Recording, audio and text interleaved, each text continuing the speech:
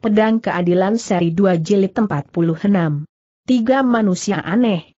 Peksi yang menggenggam tangan kiri Lim Hon Kim rat-rat, lalu ujarnya lagi. Saudara Lim, aku tahu kau keberatan bila ku bunuh Sobon Giok Hyong, tapi situasi saat ini telah berubah menjadi amat kritis, bila kita mundur selangkah berarti memberi kesempatan kepadanya untuk maju selangkah, kita bisa saja mengampuni seorang Sobon Giok Hyong, tapi sebagai gantinya banyak nyawa umat persilatan yang akan jadi korban di tangannya, lagi pula dia sendiri pun enggan lepaskan aku sebagai seorang ksatria kita tak boleh berhati lemah, apalagi terperangkap oleh bibit-bibit cinta. Nona Pek, aku. Pek si yang gelengkan kepalanya berulang kali, tak memberi kesempatan kepadanya untuk melanjutkan pembicaraan, selanya kembali. Aku paham, baik Sobon Giok Hyong, Li Tiong Hui maupun aku Pek Si Hyang, kami sama-sama mempunyai bobot yang seimbang dalam hatimu, tentunya kau merasa kesulitan bukan untuk membagi kasih secara seimbang terhadap kami bertiga. Kau jangan ngaco belo, tukas Lim Hon Kim, Nona Li jangan kau masukkan dalam hitungan, ia sudah menjadi istri orang. Ah ah ah, ah masa ia seru Pek Si Hyang tertegun. Aku tak perlu berbohong, lagi pula orang tersebut berada di perkampungan keluarga Hang San saat ini dan aku pun sudah menyanggupi mereka untuk menjadi mak comblangnya serta mengumumkan perkawinan mereka di hadapan para jago silat seusai pertumpahan darah itu berlangsung. Tampaknya Pek Si Hyang, gadis serba tahu dan cerdas luar biasa ini dibuat termangu juga sehabis mendengar berita yang sama sekali tak terduga ini, setelah termenung beberapa saat tanyanya, siapa yang beritahu soal ini kepadamu?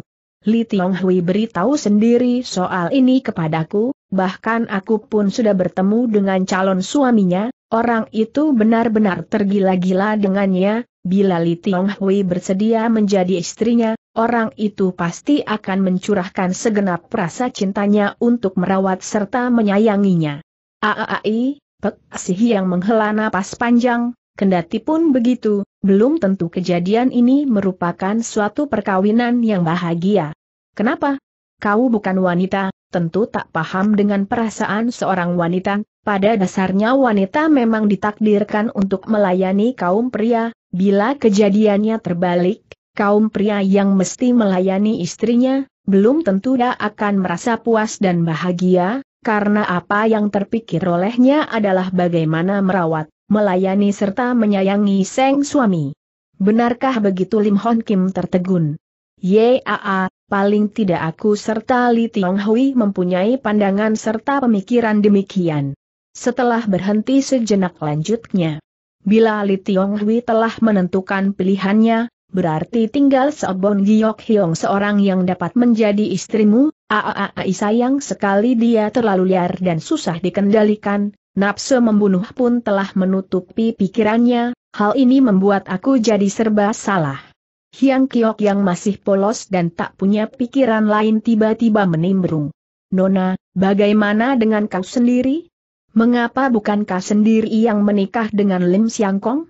Merah padam selembar wajah Pek Si Hiang, katanya sambil tertawa.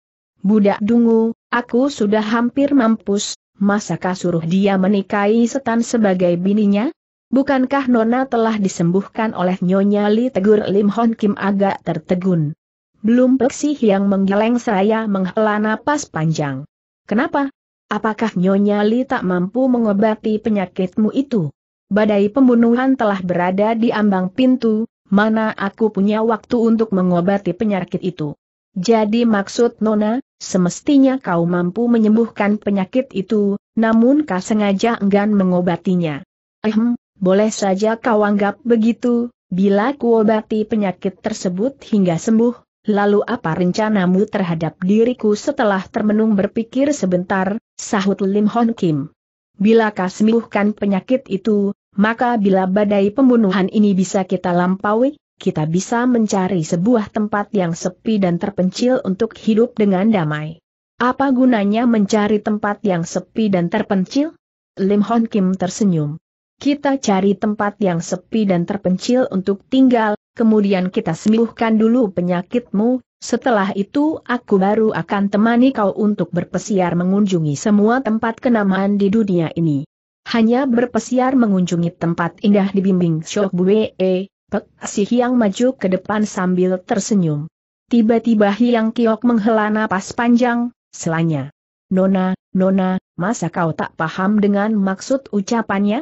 Bukankah Lim Siang Kong sudah menerangkan sejelas-jelasnya? Tanda petik. Kenapa tidak kau suruh dia berbicara lebih jelas lagi kau ingin aku berkata apa lagi tanya Lim Han Kim. Sambil tersenyum jengah. Peksi yang ikut tertawa. Apa saja yang ingin kau utarakan harus diucapkan semua, tak boleh kau rahasiakan barang sepatah pun. Baiklah, bila badai besar ini telah berlalu, akan kuajak dirimu berpesiar ke tempat-tempat indah, kemudian mengajakmu pergi menjumpai ibuku tiba-tiba wajah Pek Sihiang yang penuh senyuman itu berubah amat serius, tanyanya. Bila ibumu tak suka aku setelah melihat kondisi badanku yang begini lemah, lalu apa yang kau lakukan? Nona amat cerdik dan berjiwa besar, kenapa sih kau menguatirkan masalah yang begitu sepele? Tiba-tiba Peksi yang tundukkan kepalanya dengan sedih. Kau suruh aku mengubah apa yang sebenarnya telah kuputuskan, tentu saja banyak hal yang perlu kurisaukan. Masalah apa sih yang sebetulnya telah kau putuskan Lim Hon Kim bertanya dengan wajah bingung. Sekarang tak boleh ku sampaikan kepadamu, biar lain kali saja baru dibicarakan lagi, pelan-pelan ia menyandarkan diri di tubuh Shok Bue. Nona seru Hiang Kiok cemas, setelah terlanjur dibicarakan, kenapa sih tidak kau bicarakan hingga tuntas? Hatiku sedih sekali, cepat bimbing aku pulang ke kamar tukas Pek Si Hiang tiba-tiba.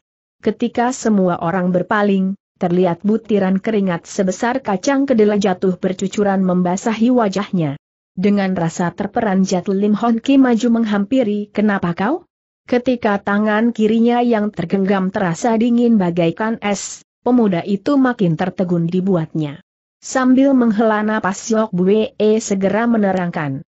Lim Siang Kong tak usah khawatir, setiap kali nona kami menghadapi masalah yang menjengkelkan mengejutkan atau mengerikan perasaan hatinya, ia selalu tunjukkan gejala seperti ini, dia akan baik kembali setelah beristirahat sejenak, Kemudian sambil menoleh ke arah Hyang Kiok, tambahnya, kita harus cepat-cepat menggotong Nona untuk kembali ke kamarnya, Hyang Kiok menyahut dan segera membopong Nonanya ke atas tandu.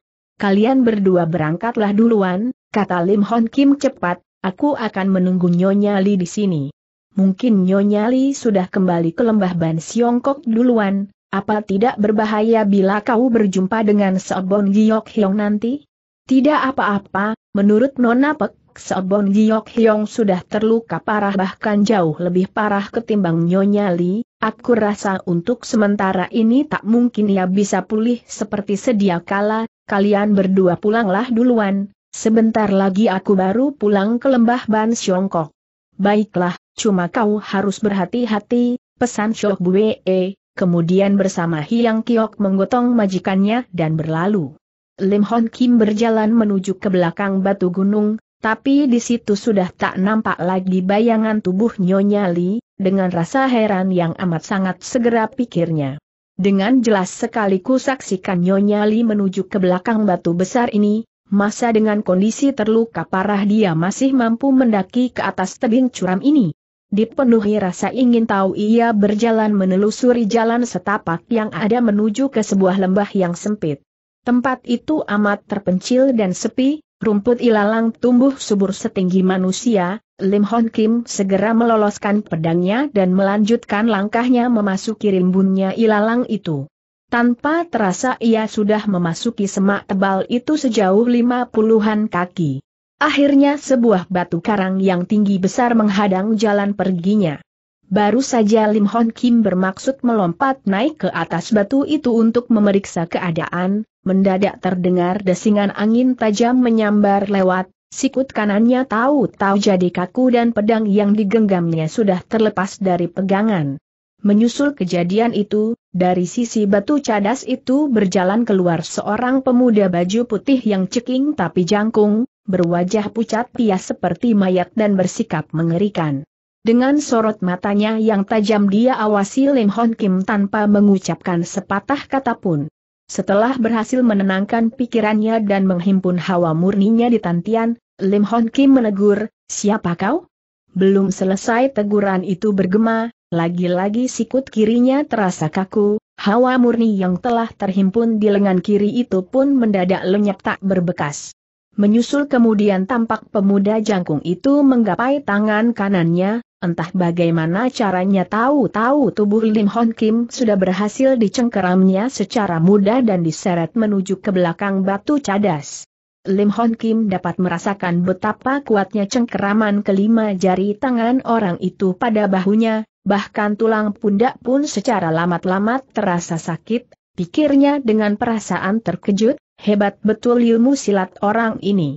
Jarak antara dinding tebing dengan batu karang itu paling banter hanya bisa dilalui satu orang saja, tapi pemuda ceking itu dengan mengempit tubuh Lim Hon Kim tetap memaksakan diri menerobos lewat dari celah tersebut. Di balik lorong sempit itu tampak seorang kakek berambut putih sepanjang pinggang dengan memegang sebuah tongkat besar berdiri menyandar pada dinding tebing. Pemuda ceking itu segera membanting tubuh Lim Hon Kim ke atas tanah, kemudian pelan-pelan mundur ke belakang kakek tersebut. Lim Hon Kim mencoba mengawasi keadaan di sekelilingnya, lagi-lagi muncul seorang pemuda berbaju hitam yang tinggi kurus melangkah keluar dari arah kiri dengan langkah lebar.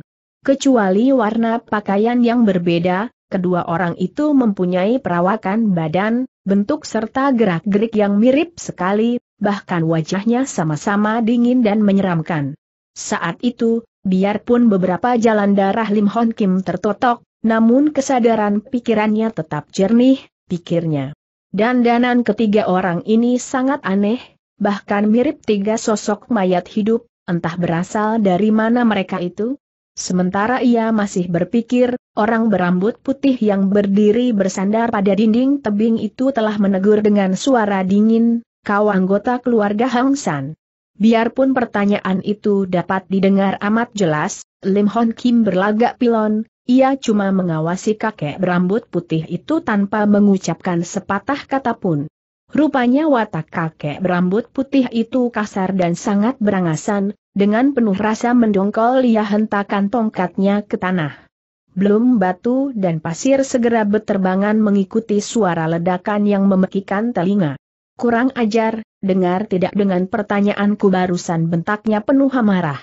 Hebat betul tenaga orang ini, batin Lim Hon Kim, tongkatnya pasti terbuat dari baja asli dan berani bertaruh beratnya tentu di atas ratusan kati, namun ia tetap membungkam diri. Kakek berambut putih itu segera berpaling ke arah pemuda berwajah pucat itu seraya menegur. Kalian totok jalan darahnya. Benar sahut dua orang pemuda itu dengan hormat bebaskan totokannya, aku hendak bertanya kepadanya. Pemuda berbaju putih itu mengiyakan dan segera menepuk bebas jalan darah di iga dan dadanya yang tertotok. Sekali lagi Lim Hon Kim berpikir.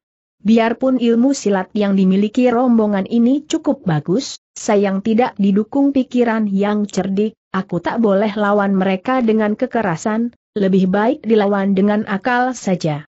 Terdengar kakek berambut putih itu berkata lagi, kini, aku telah bebaskan totokan jalan darahmu, bila. Pertanyaanku enggan dijawab juga, HMMM jangan salahkan bilakah segera ku hajar dengan toya ini. Sambil mengendorkan ototnya yang kaku sahut Lim Hon Kim, bila ingin bertanya sesuatu, katakan saja kau anggota perkampungan keluarga Hang San meskipun aku bukan anggota perkampungan.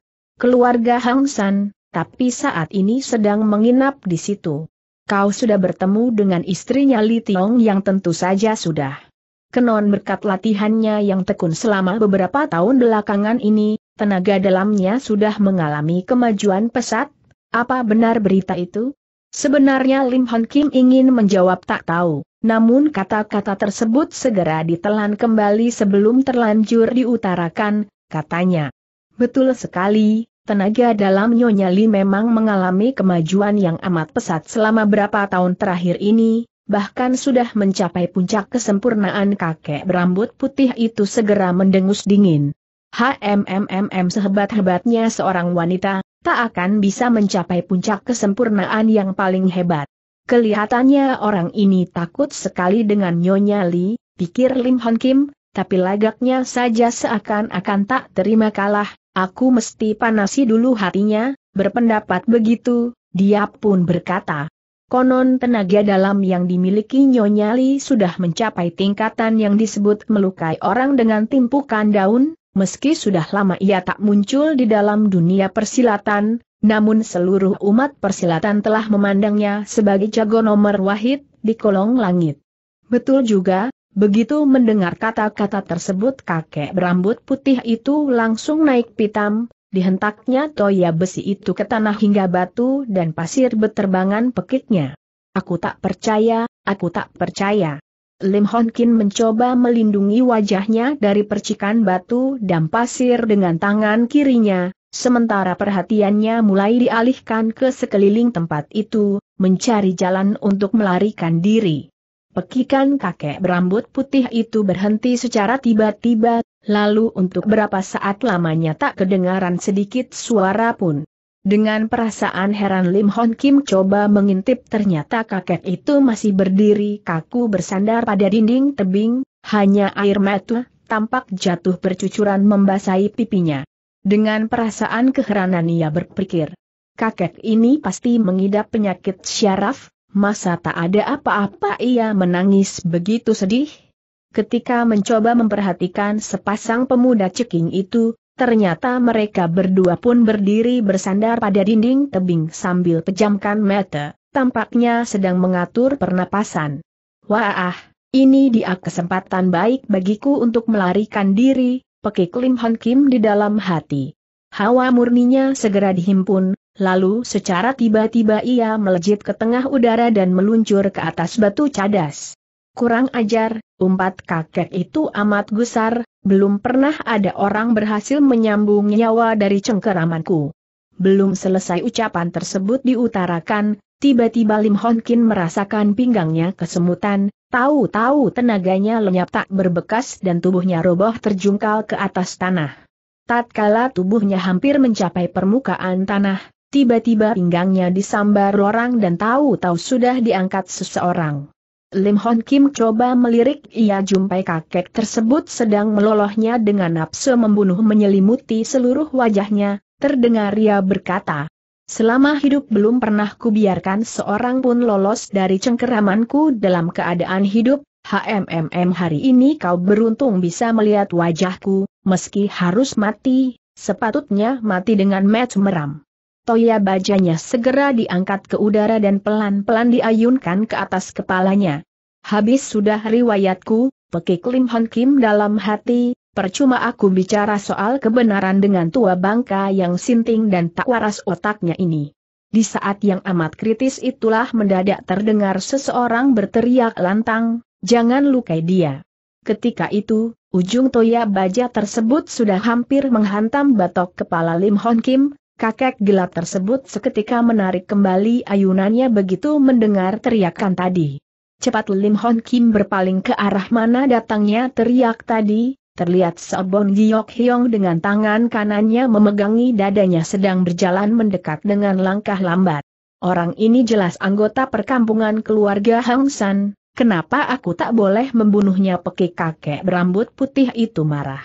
Seabun Giok Hyong tarik napas panjang-panjang seraya turunkan kembali tangan kanannya yang memegangi dada, sahutnya lembut. Kalau ku katakan tak boleh dibunuh, lebih baik jangan kau bunuh.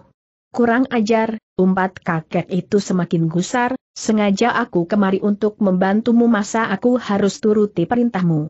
Ular tanpa kepala tak akan bergerak, burung tanpa sayap tak akan terbang, di antara kita berdua mesti ada salah seorang di antaranya menjadi pimpinan. Lantas siapa yang menjadi pemimpin? Aku yang mengundang kalian untuk membantuku tentu saja akulah pemimpin kalian, tiba-tiba kakek berambut putih itu mendongakkan kepalanya dan tertawa terbahak-bahak.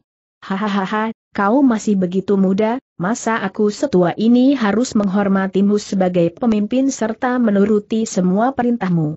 Tak pernah dunia persilatan berdakan siapa tua siapa muda, yang berhasil dialah pemimpinnya, betul usiamu sudah lanjut, tapi kau patut menuruti perintahku cepat kakek berambut putih itu menggeleng. Bila aku mesti turuti perintahmu, bukankah seluruh umat persilatan akan mentertawakan kebodohanku? Lantas apa yang kau inginkan hingga bersedia menuruti perintahku? Asal dengan ilmu silat kau mampu membuatku takluk dan tunduk tentu saja aku akan turuti semua perintahmu. Itu mah gampang, ayo kita beradu berapa gebrakan, dengan cepat kau akan ketahui berhak tidak ilmu silatku memerintah kau. Lim Hon Kim yang mengikuti pembicaraan tersebut diam-diam berpikir. Akibat pertarungannya melawan Nyonya Li, tak enteng luka dalam yang dideritanya, malahan untuk berjalan pun ia mesti pegangi dada sendiri untuk menahan sakit, kini dia sudah berani menantang orang untuk berduel kembali, aaai, sungguh jarang menjumpai perempuan segarang dan seganas ini. Dalam pada itu si kakek berambut putih itu sudah menghentakkan toyanya ke tanah sambil berseru. Baik, kau anggap aku takut kepadamu. Sembari mengerahkan tenaga dalamnya bersiap sedia, Sobon Giok Hyong menantang. Bagus sekali, dengan care apa kita akan bertanding? Bertarung secara lisan atau kekerasan? Kalau namanya bertarung tentu saja harus bertarung dengan kekerasan, mana ada pertarungan secara lisan. Padahal pertarungan secara lisan lebih sederhana dan singkat, cukup kita tentukan suatu sistem pertarungan yang berlaku kemudian masing-masing mentaati peraturan yang ada dan kita saling mengutarakan jurus serangan yang digunakan secara lisan, sebaliknya bila pertarungan dengan kekerasan, kita mesti gunakan segenap kemampuan yang dimiliki untuk saling diadukan, baik itu ilmu pukulan, ilmu senjata maupun ilmu senjata rahasia, kakek berambut putih itu tertawa dingin. Hehehe, aku Tia Sikong sudah hidup setua ini rasanya belum pernah kubuat segala peraturan dan tetek bengeknya sebelum melakukan pertarungan, lebih baik kita bertarung secara kekerasan saja. Bagus sekali kalau begitu kau boleh menyerang duluan. Tia Sikong segera mengayunkan toya bajanya, dalam sekejap mata selapis bayangan Toya yang membawa hawa dingin menyelimuti angkasa dan langsung membabat tubuh Seobon Giok Hyong. Dengan gesit dan cekatan Seobon Giok Hyong mengelak ke samping meloloskan diri di kurungan bayang-bayang itu, ejeknya. Lama ku dengar orang bercerita, katanya ilmu Toya angin puyuhmu memiliki tenaga penghancur bak gulungan ombak di tengah samudra, tapi setelah ku saksikan sendiri saat ini, HMMM, ternyata kemampuannya cuma begitu-begitu saja, mana mungkin kepandaianmu itu bisa kau gunakan untuk menandingi Nyonya Li. Gagal dengan serangannya yang pertama Tia Sikong telah siapkan serangan berikutnya, namun ia segera hentikan serangan tersebut begitu mendengar ucapan dari Sobon Giok Hyong, teriaknya. Sementara waktu kita batalkan dulu pertarungan ini kenapa? Kehadiranku ke daratan Tionggoan kali ini bertujuan mengadu kepandaian dengan Nyonya Li, kalau harus bertarung melawanmu, lebih baik kita lakukan setelah selesai pertarunganku melawan Nyonya Li. Barusan aku telah bertarung satu gebrakan melawan Nyonya Li, Sobon Giok Hyong menerangkan. Kau berhasil melukainya desak Tia Sikong agak gelisah. Nada suaranya penuh kecemasan dan kekhawatiran. Mula-mula Sebon Giok Hyong agak tertegun, menyusul kemudian sahutnya sambil tertawa-tawa. Yaa, aku telah melukainya. Tiba-tiba Tia Sikong mengayunkan toya bajanya dan langsung dihantamkan ke depan. Dengan cekatan Sebon Giok Hyong melejit ke samping menghindarkan diri, sambungnya, tapi luka yang kuderita jauh lebih parah ketimbang luka yang dideritanya. Tia Sikong menarik kembali toya bajanya dan amati Sobon Giok Hyong beberapa kejap tegasnya. Maksudmu luka yang diderita Nyonya Li jauh lebih ringan ketimbang lukamu. Justru karena itulah aku baru berpendapat bahwa kau sulit untuk mengungguli Nyonya Li. Lim Hon Kim semakin kebingungan setelah mengikuti tanya jawab itu, pikirnya. Siapa gerangan Tia Sikong yang sinting dan tak waras itu? Kenapa dia pandang Nyonya Li sebagai musuh besar yang begitu dibencinya? Anehnya, ketika mengetahui Nyonya Li terluka lantaran duelnya melawan Sobon Giok Hyong, dia pun berniat adu jiwa dengan nona tersebut sebenarnya dia itu teman atau musuhnya Nyonya Li. Aku tak habis mengerti dibuatnya. Sementara itu Tia Sikong telah sandarkan diri ke atas batu tebing sembari bergumam. Bila aku keok lagi di tangannya, malu rasanya aku pulang ke negeri Saiye. Hanya ada satu cara bila kau ingin mengungguli Nyonya Li, teriak Sobon Giok Hyong tiba-tiba. Apa caramu?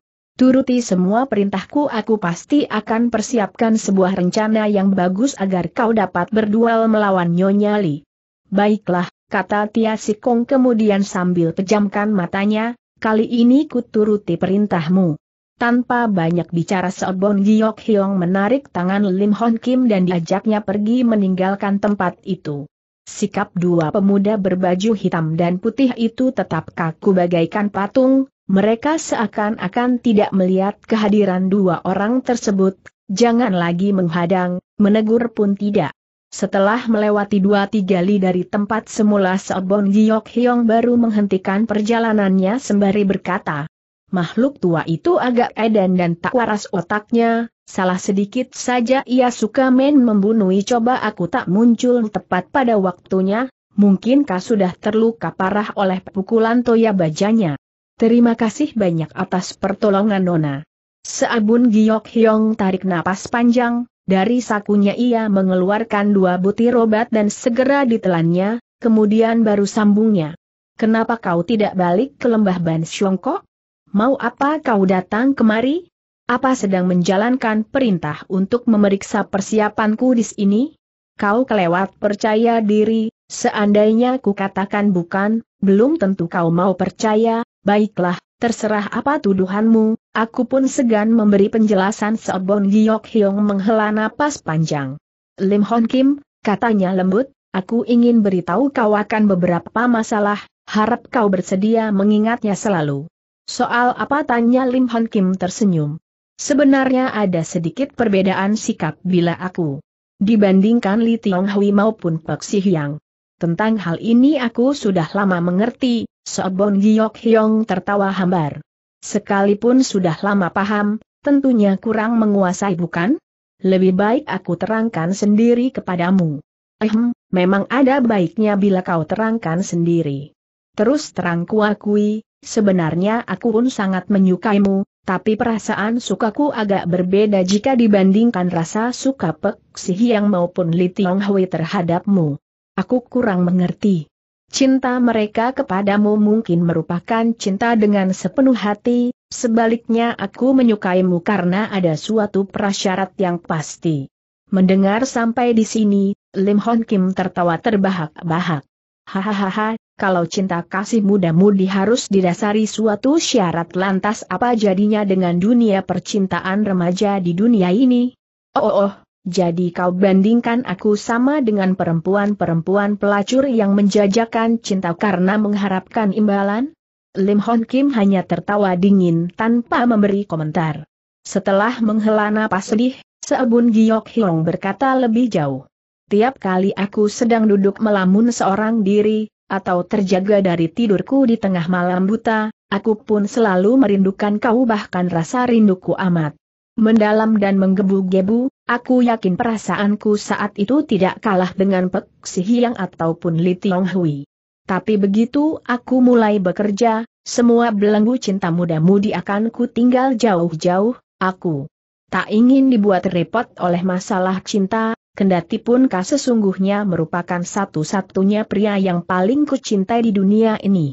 Tiba-tiba paras mukanya berubah amat serius, sepasang alis matanya melejit, sorot matanya setajam sembilu, sepatah demi sepatah lanjutnya. Tapi, jika kau berniat menghalang-halangi pekerjaanku, HHMMM, aku tetap tega untuk membinasakan dirimu. Bila Nona berniat membunuhku, lakukan saja saat ini, tak perlu berputar-putar sampai ke ujung langit. Sekarang, nafsu membunuhku belum timbul, jadi lebih baik secepatnya kau pulang ke lembah Ban Siongkok. Pelan-pelan Lim Hon Kim bangkit berdiri, katanya, kau tak menyesal melepaskan aku dari sini kenapa mesti menyesal? Apa jadinya bila aku membantu Li Tiong Hui? Sekalipun kau membantu Li Tiong Hui juga tak akan memengaruhi situasi secara keseluruhan. Mula-mula Lim Hon Kim agak tertegun, menyusul kemudian ia tertawa tergelak. Gelak tertawa yang tak terduga ini segera mencengangkan Seobon Giok Hyong yang cerdik, ia tak habis mengerti dibuatnya. Sesudah termangu sesaat, tegurnya, apa yang kau tertawakan? Nona kelewat pandang enteng kemampuan Lim Hon Kim, sekalipun aku memang bukan tandingan Nona, paling tidak aku sanggup membakar perasaan Pek Si Hyang agar mengambil sikap memusuhi dirimu. Oh ha, Rupanya begitu, Sobon Giok Hyong tertawa sesudah berhenti sejenak untuk tarik napas, lanjutnya. Seandainya pertarungan ini bakal berlangsung tiga bulan kemudian, aku percaya Peksi yang mempunyai kemampuan untuk selamatkan dunia persilatan dari ancaman badai pembunuhan ini. Tapi peristiwa besar tersebut sudah diambang pintu sekarang, paling lama sepuluh hari, paling cepat tujuh hari kemudian badai pembunuhan secara besar-besaran akan segera digelar di lembah Ban Siongkok ini. Aku tak percaya Peksihi yang punya kehebatan sedahsyat itu hingga mampu mengubah situasi ini dalam sepuluh hari saja. Jadi maksud Nona, kau pasti dapat menangkan pertarungan besar kali ini. Kau sudah berjumpa dengan Tia Sikong bukan? Dialah salah seorang dari dua tokoh tangguh yang kuundang untuk menghadapi Nyonya Li, jangan lagi jago-jago biasa, bahkan aku sendiri pun belum tentu mampu menerima ke-88 jurus ilmu toya angin puyuhnya secara utuh, betul ilmu silat Nyonya Li sangat hebat, tapi di saat ia berhasil mengungguli Tia Sikong. Saat itu kekuatan tubuhnya pasti sudah terkuras banyak. Asal Nyonya Li sudah tersingkirkan, Siapa lagi di dunia persilatan saat ini yang mampu menandingi aku, Sobon Giok Hyong dengan kening berkerut Lim Hon Kim berpikir. Jadi Sobon Giok Hyong bermaksud melakukan pertarungan secara bergilir untuk menghadapi Nyonya Li. Betul-betul sebuah siasat yang keji dan memalukan. Terdengar Sobon Giok Hyong berkata lebih lanjut sambil tertawa dingin. Aku berani beritahu soal ini kepadamu berarti tidak khawatir kau laporkan hal tersebut kepada Nyonya Li, sekalipun kau bocorkan rahasia ini, belum tentu ia mampu untuk mencegahnya. Lim Hon Kim tidak banyak bicara Agi, ia putar badan dan segera beranjak pergi meninggalkan tempat itu. Memandang bayangan punggung Lim Hon Kim hingga lenyap dari pandangan, Sobon Giok Hyong menghela napas sedih, Tak kuasa dua titik air mata jatuh berinang membasahi pipinya. Dengan langkah cepat Lim Hon Kim menelusuri jalan setapak meninggalkan tempat tadi, sekejap kemudian tibalah di lembah Ban Siongkok. Tatkala mencapai mulut lembah, ia saksikan ada serombongan pendeta berjubah abu-abu dengan mengiringi seorang pendeta tua berjubah kuning sedang berjalan memasuki lembah. Li Tionghui dengan pakaian serba hijaunya dan sebilah pedang tersoren di punggungnya sedang sibuk. Menyambut kedatangan rombongan itu memandang pendeta tua berjubah kuning itu, dalam hati Lim Hon Kim berpikir. Sudah pasti rombongan pendeta itu berasal dari kuil Xiao Lim Si, konon perguruan Xiao Lim Pei merupakan tonggaknya dunia persilatan, kalau ditinjau dari gaya mereka, rasanya memang jauh berbeda dengan rombongan lain. Sementara ia masih termenung, mendadak terdengar seseorang berseru lantang, Ketua Butong Pei diiringi delapan murid utamanya tiba. Lim Hon Kim berpaling, ia saksikan ada sembilan orang tosu berusia pertengahan sedang bergerak mendekat. Pendeta yang berdiri di paling depan adalah seorang tosu bercambang lima yang berwajah keren dan bertubuh gagah. Kembali Lim Hon Kim berpikir. Butong Pei serta Xiao Lin Pei sama-sama disebut sebagai tonggaknya dunia persilatan, nama besar mereka amat termasyhur dalam dunia Kangou, entah siapakah Tosu Gagah ini? Sementara itu Li Tionghui telah membalikan badan untuk menyambut kedatangan rombongan itu. Tosu yang berjalan di paling memuka itu segera menghentikan langkahnya seraya menjura, tanyanya. Apakah Nona adalah Li Bengju? Yaa, aku Li Tionghui, jawab si Nona sambil tersenyum, Totiang adalah. Pinto adalah Tian Cheng Chu dari Butong Pei. Oh, oh, oh, rupanya ketua Butong Pei Li Tiong Hui. Merasa amat bersyukur dan terharu atas kerelaan Totiang. Datang kemari demi keadilan dunia persilatan. Sudah menjadi kewajibanku untuk memenuhi panggilan Beng Chu. Silakan Chiang Bunjin, ketua, masuk ke dalam lembah Tian Cheng Chu tersenyum. Aku pun sudah lama mendengar akan nama besar lembah Ban Siongkok sungguh sangat beruntung aku dapat mengunjunginya hari ini. Chiang Bunjin adalah seorang ketua partai, sudah barang tentu sangat jarang melakukan perjalanan dalam deunta persilatan. Ucapan Beng Chu kelewat serius, setelah berhenti sejenak, kembali katanya. Bagaimana situasi saat ini? Begitu menerima panggilan Beng Chu, aku telah mengutus sebagian anak muridku untuk hadir lebih awal agar bisa membantu di sini, apakah mereka telah hadir? Sudah, malah Seobon Giok Hyong pun telah mengirim sebagian anak buahnya untuk mengacau di sini, kemungkinan besar dalam 2-3 hari mendatang pertarungan bakal meledak. Berarti pertempuran sudah di depan mata. Benar, untung saja Tooti yang serta jago-jago dari Xiao Limbei telah tiba di sini. Bukankah pendeta berjubah kuning tadi adalah ketua dari Xiao Limpei? Benar, memang Pohang Taisu. Luar biasa, luar biasa, seingatku dalam 30 tahun terakhir ini Pohang Taisu tak pernah tinggalkan kuilnya barang selangkah pun, tak disangka ia bersedia hadir di sini, hal ini membuktikan bahwa Beng Chu punya pamer yang besar. Atas kesediaan Toti yang sekalian mau menghargai diriku, aku merasa amat berterima kasih. Ketika ia menyaksikan Lim Hon Kim muncul di situ, segera sambungnya. Setelah menempuh perjalanan jauh tentunya letih yang semua merasa lelah, silakan beristirahat dulu, besok tengah hari kita baru mulai berunding membicarakan langkah kita menghadapi musuh. Ada satu hal, boleh aku bertanya kepada Beng Chu silakan saja bertanya. Selain jago-jago dari Xiao Lim Pei, kawanan jago dari perguruan mana saja yang akan hadir di sini? Tentu saja sembilan partai besar. Hanya saat ini baru pihak Xiao Lim Pei serta perguruan Anda yang tiba duluan. Kecuali sembilan partai besar, ada 48 orang jago dari pelbagai daerah telah hadir lebih duluan, kini mereka sedang beristirahat dalam lembah Ban Siongkok. Terima kasih banyak untuk penjelasan Beng Chu, kata Tian Cheng Chu kemudian sambil memberi hormat. Kemudian dengan langkah lebar melanjutkan perjalanannya. Dari balik lembah segera muncul dua orang dayang berbaju hijau yang menghantar tamunya ke tempat istirahat. Dalam pada itu Lim Tiong Hui telah berjalan menghampiri Lim Hon Kim sambil menegur, kau sudah kembali? Lim Hon Kim dapat merasa bahwa hubungannya dengan gadis itu seakan-akan bertambah asing dan terhalang jarak yang amat jauh, setelah tertegun sesaat dia mengangguk. Yaa, aku sudah kembali. Telah bertemu lagi dengan Sobon Giok Hyong benar, dari mana Nona bisa tahu Li Tiong Hui? Tertawa hambar. Itu sih gampang untuk ditebak, seandainya tidak bertemu Sabon Giok Hyong, seharusnya kau sudah pulang sedari tadi.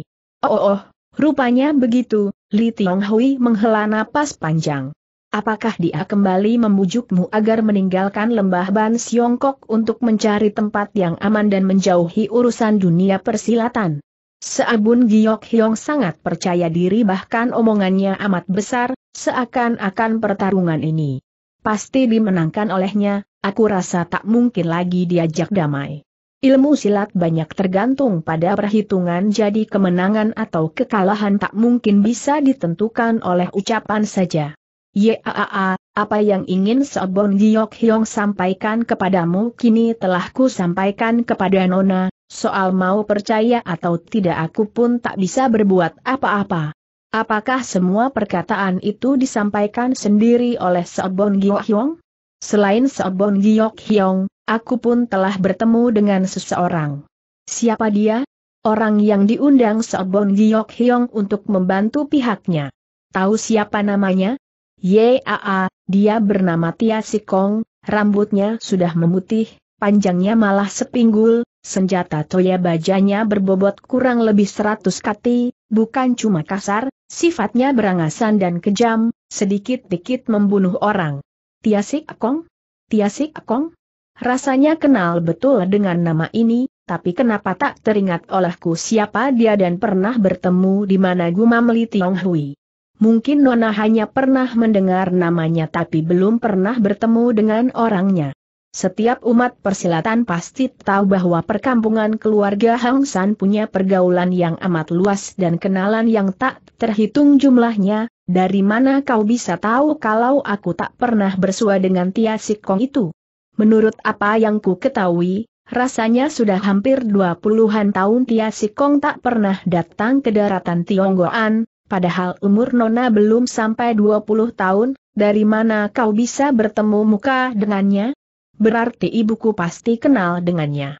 Benar, kedatangannya memang disebabkan ibumu, agaknya pada masa silam dia pernah bertarung melawan ibumu tapi nasibnya malang, dalam pertarungan tersebut ia menderita kekalahan total, oleh sebab itu timbul perasaan benci yang sangat mendalam terhadap ibumu, maksud kehadirannya ke daratan Tionggoan kali ini tak lain ingin membalas dendam sakit hatinya dulu, rupanya Sobon Giok Hyong mengetahui hal ini dan memanfaatkan peluang tersebut untuk membantu pihaknya. Sambil pejamkan mata Tiong Hui termenung beberapa saat, kemudian ujarnya. Alangkah baiknya bila kau bersedia bertemu dengan ibuku dan menceritakan kejadian tadi secara jelas kepadanya. Aku memang bermaksud begitu, setelah berhenti sejenak, kembali lanjutnya. Tampaknya Sobon Giok Hyong sudah bertekad hendak menciptakan badai pembunuhan di sini, meski aku telah berusaha membujuknya agar urungkan niat itu, namun yang ku peroleh malah sindiran dan cemoohan belaka. Oleh karena itu kau amat mendendamnya sambung Li Tiong Hui. Gara-gara ulah Sobon Giok Hyong yang membuat keonaran, dunia persilatan terlanda badai pembunuhan yang mengerikan, jangankan aku, setiap umat persilatan di dunia ini pasti akan menaruh rasa benci yang mendalam terhadapnya, sementara itu terdengar lagi suara teriakan nyaring berkumandang datang, ketua dari Gobi Rail tiba. Sambil menghela napas panjang Li Tiong Hui berkata, harap saudara Lim memaklumi keadaanku, selama berapa hari belakangan ini pikiran dan perasaanku memang agak risau dan murung, sehingga tanpa disadari ucapanku agak kasar dan tak enak didengar, bila ada kata-kata yang menyinggung perasaanmu, harap saudara Lim Sudi memaklumi dan memaafkan. Nona sedang memangku jabatan tinggi dengan tugas yang berat di atas pundakmu, Lim Hon Kim tak boleh berkecil hati.